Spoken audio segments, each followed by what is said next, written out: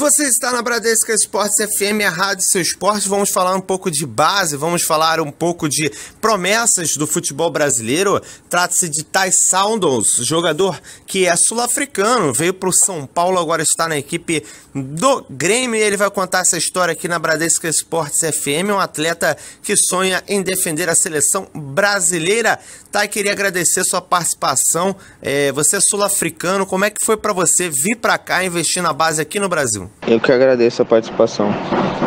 Então, quando eu tinha 11 anos, tinha um projeto social chamado Xonacona que trazia 12 meninos para cá para ficar uma semana no centro de treinamento de São Paulo e ficar em observação. Mas eu não sabia na época que era que era para ficar em observação. Então eu treinei a semana. Eles acabaram gostando do meu futebol e pedindo para que retornasse o ano seguinte.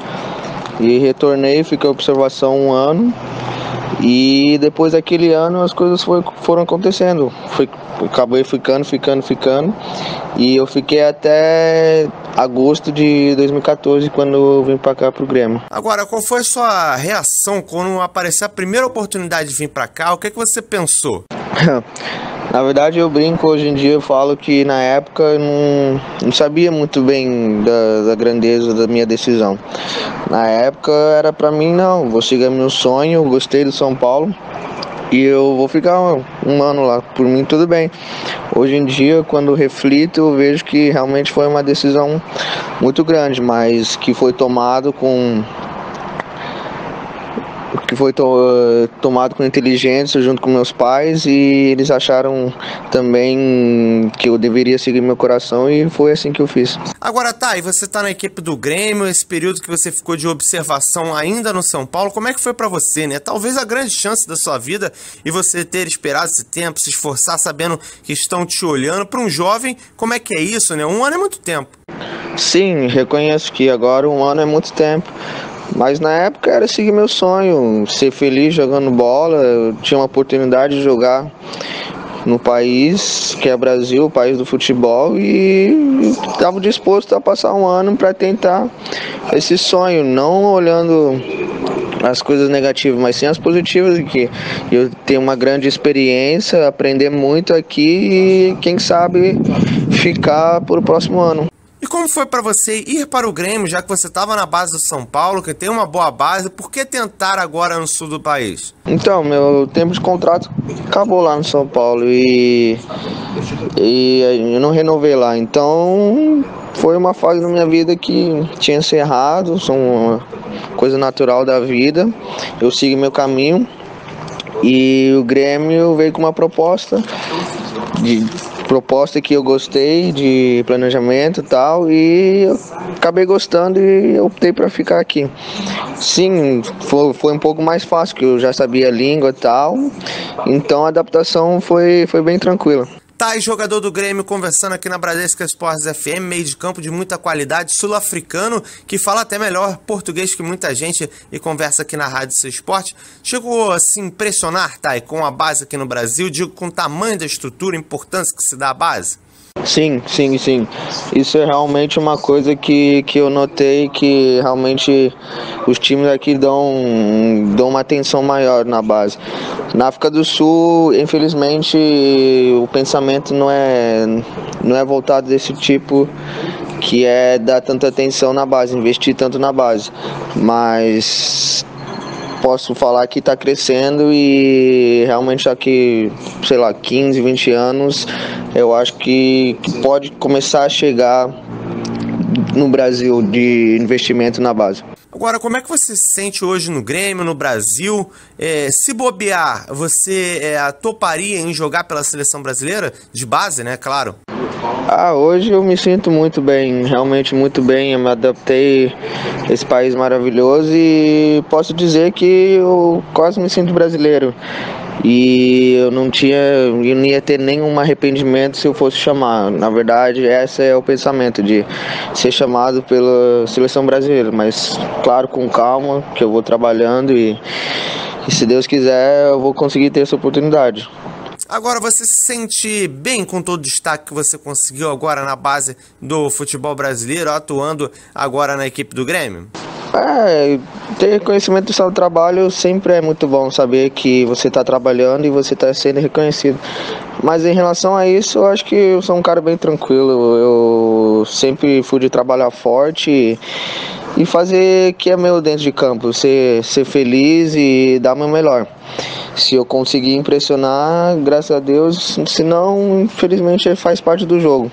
Tenta na próxima e assim por diante. E o fato do Grêmio aproveitar bem os garotos da base, tem alguns que já tiveram é, chance no profissional, Rafael Thierry, é, alguns atletas como é, o Everton, o Pedro Rocha. É, você pensa nessa chance? É, eles mantêm você informado sobre isso?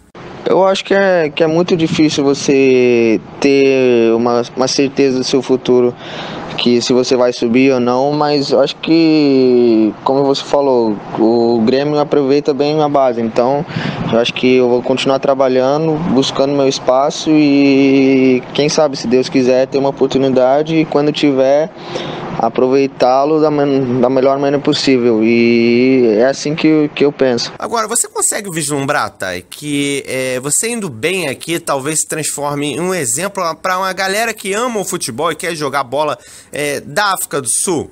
Claro, de vez em quando eu penso nisso, mas como falei, eu sou um cara bem tranquilo e acho que eu vou continuar trabalhando, fazendo o meu. E o futuro só está nas mãos de Deus. E espero, se Deus quiser, ter uma oportunidade e, e quando tiver, aproveitá-lo da melhor, melhor maneira possível. E futuramente, quem sabe, ser um exemplo para garotos vindo da África do Sul e não só da África do Sul, mas de outros países vindo para o Brasil tentando uma adaptação mais cedo na carreira que essa relação é, com relação à seleção, na verdade, até outro tempo era quase que difícil ter alguém de fora sendo lembrado. De uns anos para cá, com a globalização, apareceram alguns, como Marcelo Moreno, que jogou na base na seleção brasileira, hoje defende a Bolívia, jogou no Sub-19. Agora o Andrés Pereira, que nasceu na Bélgica, o Rafinha do Barcelona. O que, que você acha dessa busca por bom futebol com a galera identificada com o Brasil? É que carrega o Brasil no coração, não necessariamente no, no, nascimento, isso pode puxar a fila para você? Claro, acredito que esses caras podem abrir o caminho para mim, assim como eles estão abrindo. Muita gente está realmente olhando para a pessoa de fora e não só aqui de dentro. Eu acho que é isso, esse é o sentimento de, de coração mesmo, de defender o Brasil com o seu coração. Não necessariamente você precisa ser do país, mas se você tem a intenção de de, de defender a seleção, seja aqui no Brasil, seja em outro país, você realmente vai defender de corpo e alma e se entregar ao máximo. Eu acho que é isso que, que o povo quer ver quando as pessoas vestem a seleção da camiseta.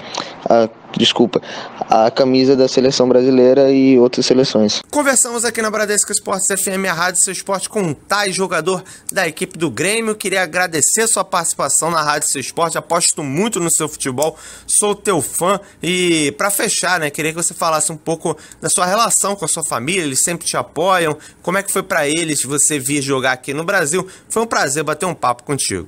Que isso, prazer foi, foi todo meu. Obrigado.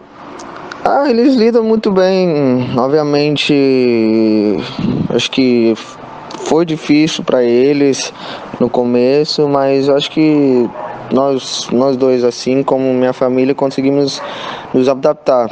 Claro que existe a saudade e que a gente consegue adaptar um pouquinho, mas sempre vai existir a saudade de, de estar com a família e esse tipo de coisa. Mas eles sabem que eu estou seguindo meu coração, seguindo meu sonho e futuramente, quem sabe, trazê-los para cá ou algo do tipo.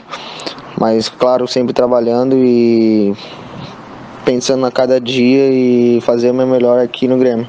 Esse é o sul-africano Tai, jogador do Grêmio aqui na Bradesco Esportes FM. Boas histórias, você sempre ouve aqui.